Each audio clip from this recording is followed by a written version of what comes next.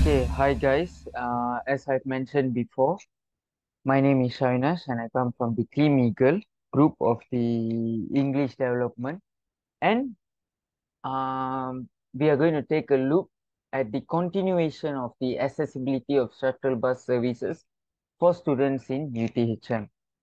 So, like I said before, we have taken a deep dive uh, into this issue we have gotten a rough idea, sorry, not rough, actually a detailed idea on how we are going to tackle this issue.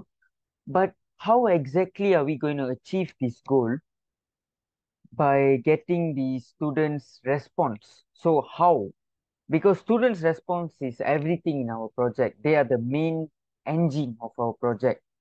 Without them, without getting their feedback, without getting their their input, this project will be a failure because we are actually assessing the accessibility of shuttle bus services for students and only students in UTHM would know better about this issue. Hence, we have prepared a short survey, survey as uh, through Google form to be distributed to the students. And let's take a look at the content of the survey. That's what we are going to take a look at right now.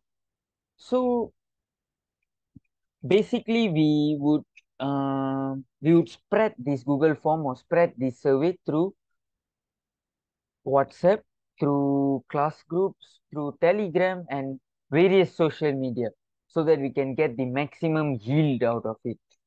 So the accessibility as the accessibility of shuttle bus services for students in UTHM.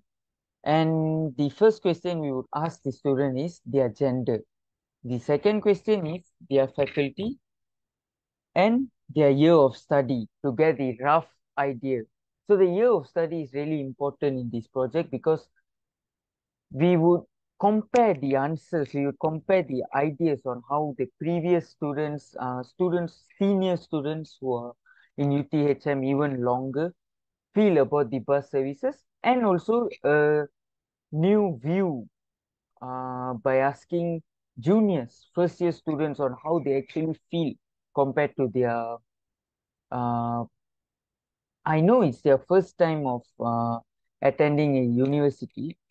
Sorry, I know it's the first time of, I know it's their first time of uh, coming to UTHM to study, but I'm pretty sure they have gone to various seminars during the UPSR, SPM and all to various public universities. So they might have a different idea or different expectation on how uh, uni should have their shuttle bus services and everything. So we would get another point of view based on the juniors. So the year of study is actually really important in our uh, project. So the section B is to identify the time consistency bus services among UTHM students and also to investigate the number of UTHM students coming late to class and staying back. So how often do you use the bus in UTHM is the first question in section B. What would you like to improve the bus services in UTHM? Buses in UTHM should shorten the time interval between every stop. How often are you late due to bus not being in schedule, on schedule? So the answers would usually be often, sometimes rarely, or never, or daily, couple of times a week. And that is section B. Section C, we would take a look at the objective 2. To understand the student satisfaction with the cleanliness of bus equipment. So the first question in section C is, are the equipment in the bus in good condition? Example, the air conditioning, standing passenger. How would you rate the cleanliness of the bus in UTHM? And that's about it. So thank you. And this is our main Google form and main goal of the Google form. Thank you and we will meet again.